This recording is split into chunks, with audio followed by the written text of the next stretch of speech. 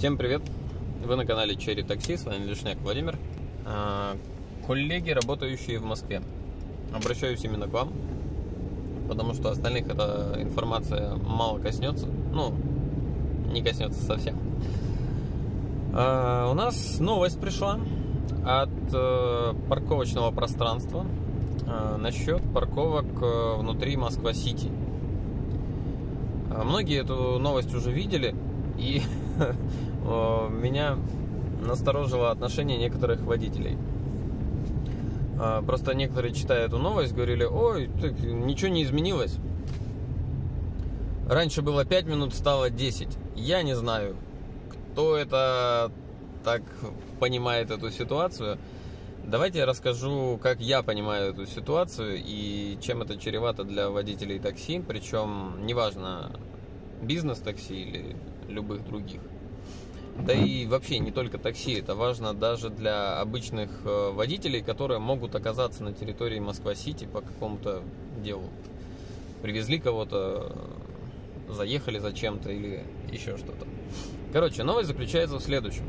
Э, с 1 января на территории Москва-Сити э, вводится, помимо того, помимо того, что въезд на территорию Москва-Сити, он платный, Э, бесплатное время 10 минут.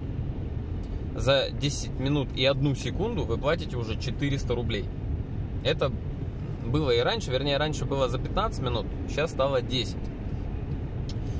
Э, потом, я так понимаю, что некоторые водители путают, э, когда появились красные таблички с надписью 5 минут, так называемые парковки К, Э, для кратковременной остановки, высадки пассажиров.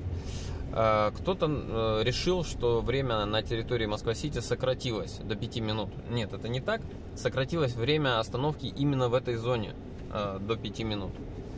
Вот. А на всей территории Москва-Сити можно находиться не более 10. Я говорю, 10 минут и 1 секунда это уже 400 рублей. Значит, в чем заключается изменение? Дело в том, что раньше можно было выехать с территории Москва-Сити, если пассажир не вышел, заехать снова, дождаться и спокойненько поехать. Теперь это будет невозможно.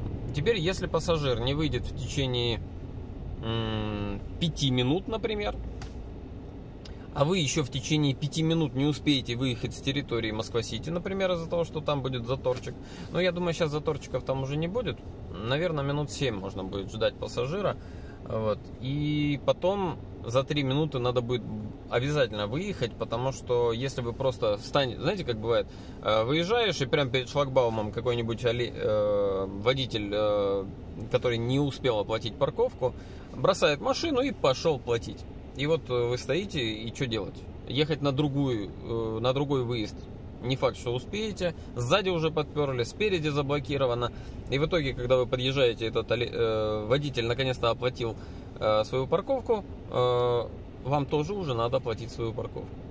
И, соответственно, ну, если вы нормально себя ведете, вы переставите машину и пойдете платить парковку. Короче, было и так непросто. Мало того, сейчас, секундочку, тут важный момент.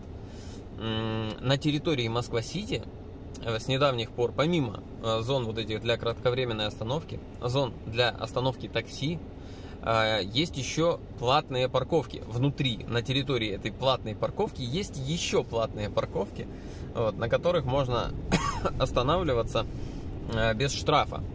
Если вы остановились не в зоне такси, не в зоне кратковременной остановки, не в зоне платной парковки, то вашу машину еще эвакуировать могут. Это раз. То есть вы такой, а, бог с ним, больше 10 минут, ничего страшного, 400 рублей заплачу. Э, пошли там, не знаю, забирать костюм в сударь, э, пришли, машины нету. Потому что эвакуация уже произошла, и вам это обойдется в 8 с лишним. Так вот, это было слишком просто. Э, администрация решила сделать еще веселее. И теперь, если вы выехали э, с территории Москва-Сити, то заехать вы можете не раньше, чем через 30 минут.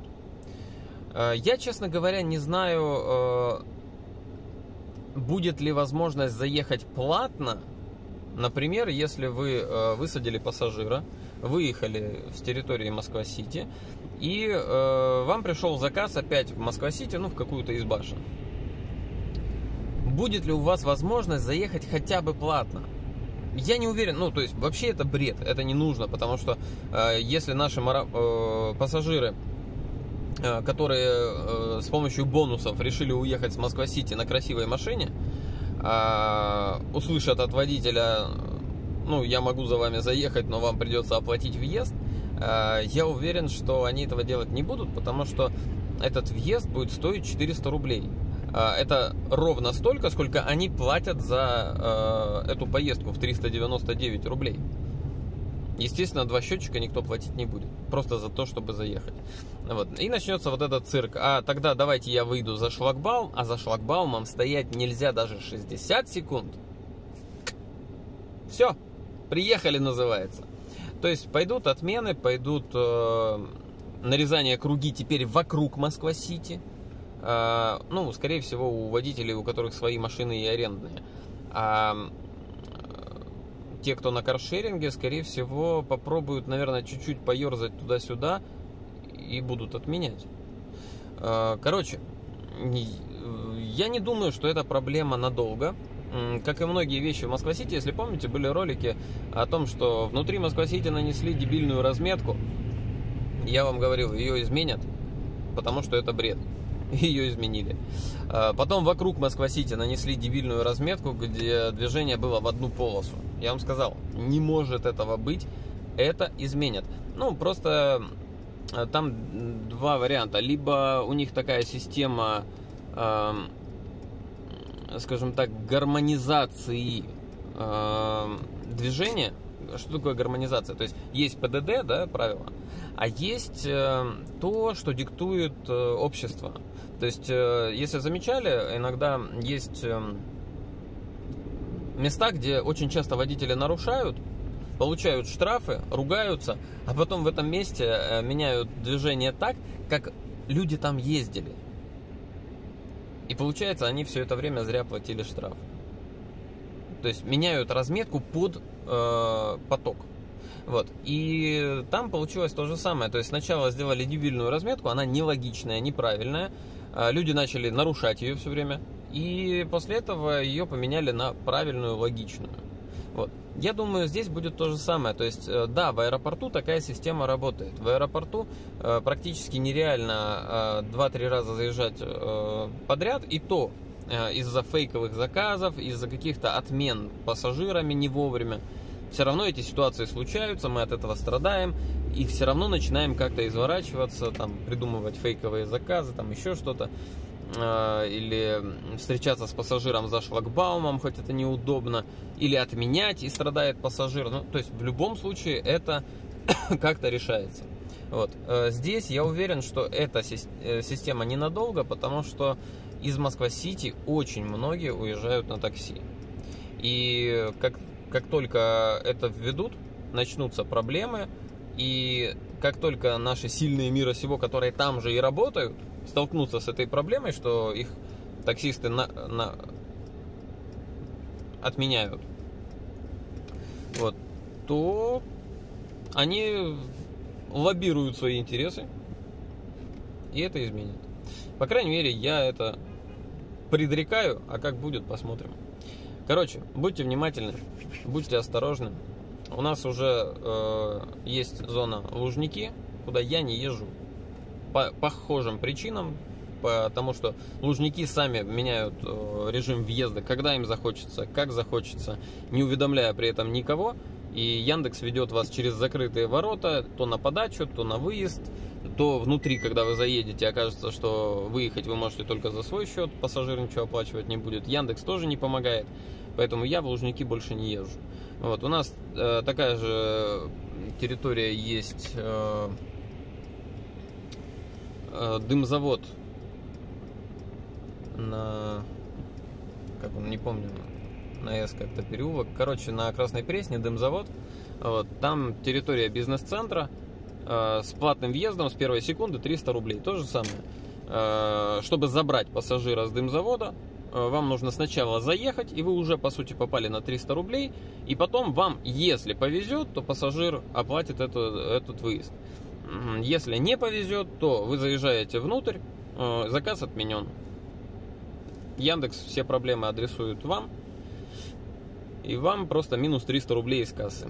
Вот. Поэтому внутрь, на территорию этой э, бизнес-зоны я тоже не заезжаю, я не помню, как она называется. А, и что-то вылетело с головы название переулка. Так, а я же здесь рядом, я вам сейчас скажу, как он называется. Так, так, так, так, так. Так. Так. А, Столярный переулок, да. А, на Столярном переулке а, там какой-то бизнес, бизнес-территория. Вот. На территории которой находится дымзавод, балаган и же с ними. Маримания. Вот. Когда туда привозите пассажира, еще можно с ним договориться, сказать, вот въезд платный, хотите заезжаем, не хотите нет. Когда забираете, вы, конечно, можете позвонить ему и сказать, заезжать или нет, тут въезд платный с первой секунды, 300 рублей, и как недавно было в ролике, пассажир мне говорит, да, я оплачу, потом я заезжаю, и мне приходит сообщение, ой, вы знаете, я передумала ехать, до свидания. Ну, в моем случае хотя бы подачу оплатил, а то вообще заказ за наличку был. А если не захочет, то и не заплатит. Вот, то есть э, это вторая территория, куда я не заезжаю. Э, и вот сейчас появится третья, это будет Москва-Сити. И это серьезная проблема, потому что Москва-Сити это источник получения заказов, очень, ну, такой, такое место, где практически всегда можно получить заказ. Вот. Я думаю, это будет проблема, но я уверен, что она будет недолго, это должны будут изменить. В общем, будьте аккуратны, всем удачи!